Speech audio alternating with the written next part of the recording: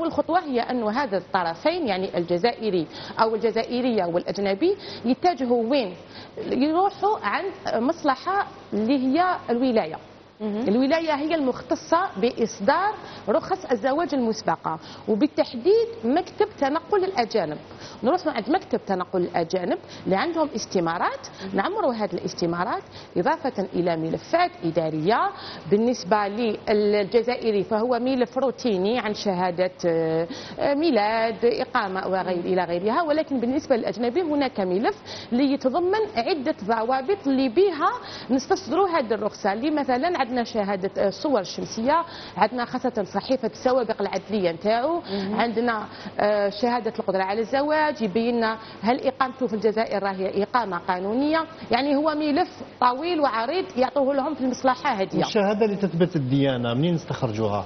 اولا لطفي نبداو بالشروط باش هكا دوك ندخلوا في وسط الديانه ونهضروا بالتفصيل عليها. أوكي. شروط استصدار الرخصة عندنا. اولا الإقامة القانونية في الجزائر. يعني هذا الطرف الأجنبي لازم كي يكون في الجزائر باش يستصدر هذه الرخصة يكون في إطار قانوني. إما يكون مقيم في الجزائر وهنا لازم تكون عنده بطاقة المقيم الأجنبي وإما أنه ما يكونش مقيم وجاب تأشيرة. فهذه التأشيرة لازم تكون قيد الصلاحية. هذا بالنسبة للرعايا اللي يدخلوا الجزائر بالتأشيرة. وما تكونش مضبوطة بمدة محددة؟ أكيد تكون قيد الصلاحية هذا التأشيرة دوكا ça dépend. mais التاشيره تاعو لازم كي يكون في الجزائر لازم تكون مازالها قيد الصلاحية. لأنه نتوقع أنه الإجراءات تدي وقت تاع جمع الملف ولكن هو مش ملزوم أنه يقعد هنا حتى آه. يتم استصدار رخصه إضافة إلى أنه يقدر يدير وكالة للطرف الجزائري وهذه الوكالة تقدم في إطار الملف. مه. قلنا لازم يكون مقيم إقامة قانونية. ثاني شرط لازم تكون عنده القدرة على الزواج. وهذه الكلمة بزاف ما يفهموش واش معناتها. القدرة على الزواج نثبتوها بشهادة اللي هي شهادة القدرة على الزواج. هذه الشهادة يخرجها الطرف الأجنبي ماهوش الجزائري. وهذا الطرف الأجنبي من وين يستخرجها؟ من قنصلية البلد نتاعو. وش معناتها شهادة القدرة على الزواج؟ هي عبارة عن سيرة ذاتية. لهذا الطرف الأجنبي. الدولة نتاعو تحضر لنا عليه. تقول لنا حالته المادية حالته الاجتماعية هل هو متزوج في البلد تاعو أو لا؟ وكذلك أهم نقطة فيها إذا متبوع بقضايا ربما أكيد. سوابق هذه هي. ومام هو راح يدفع شهادة السوابق العدلية. أوكي. ومن أهمية كذلك لطفي شهادة القدرة على الزواج هي أن الدولة تاعو راح تقول لنا هل هي ممانعة أو لا عن هذا الزواج.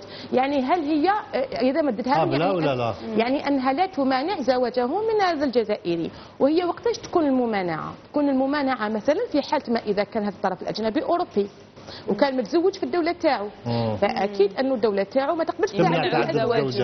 فما راحش يقدر يتحصل عليها. هذه هي معناتها القدرة على الزواج.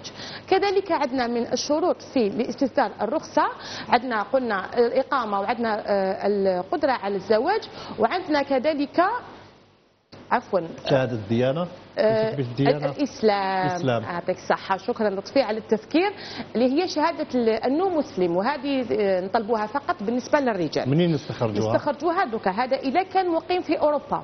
هذا يعني يخرجها من المصالح الدينية تما يروح للمساجد اللي تما واللي يخرجها. أما إذا خرجها هنا في الجزائر فيتجه إلى مديرية الشؤون الدينيه واللي هي عندنا مصلحة التوجيه القرآني والتعليم الديني. كيف تثبت آه، آه، أنه حقا مسلم أم لا؟ أكيد هو ملف.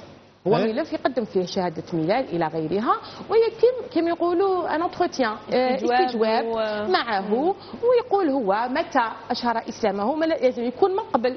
ما لازمش يكون هذاك النهار parce que إلا قال لهم اليوم حنولي مسلم هذا يعني أنه قد يكون هناك تحايل. هل يستوجب الأمر آه، ربما آه، إشهار وإعلان إسلامه أمام العلن هو في, مسا في مسجد مثلا؟ هذه لما يتم إشهار الإسلام دائما غالبا ما تقدم شهادة. أوه.